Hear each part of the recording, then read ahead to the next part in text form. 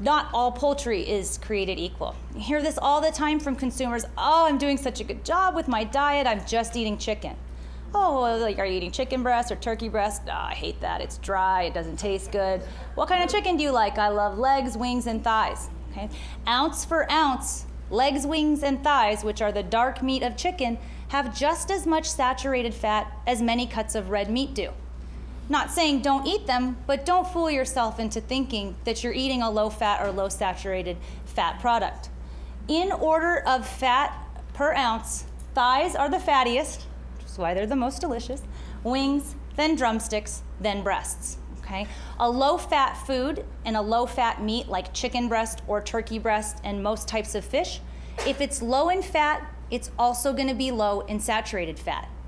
The legs, the wings, the thighs, those are high in fat and they're also very high in saturated fat.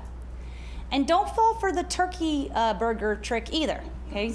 Ground turkey is usually just ground up dark meat of turkey plus the skin, so it's actually worse for you than other types of red meat.